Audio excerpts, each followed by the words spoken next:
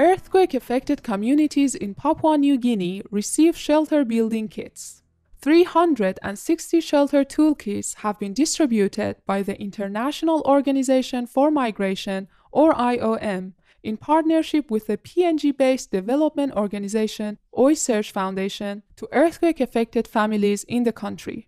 The initiative was also assisted by the nation's Emergency Controller's Office and will enable at least 1,800 people to rebuild their homes in four remote communities. In addition, 36 villagers, including seven women, were also given Build Back Safer training so they can assist their communities to use the kits to construct stronger shelters using locally sourced and traditional building materials.